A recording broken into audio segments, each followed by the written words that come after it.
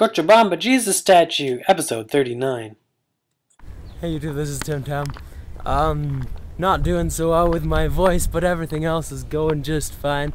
We're here in Cochabamba still, and it's very high above sea level, so everything is a lot harder to do. And it's very hard to breathe up here. And I ran up the steps and I was like panting like a doggy. So yeah, you'll see behind me the city of Cochabamba there. It's beautiful. And then right here behind me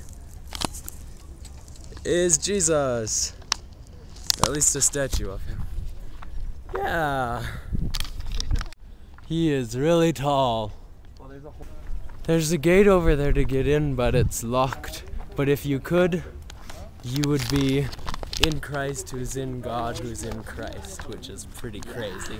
Yeah, do you agree? Yeah. ¿Estás de acuerdo? Sí. Sí, he agrees.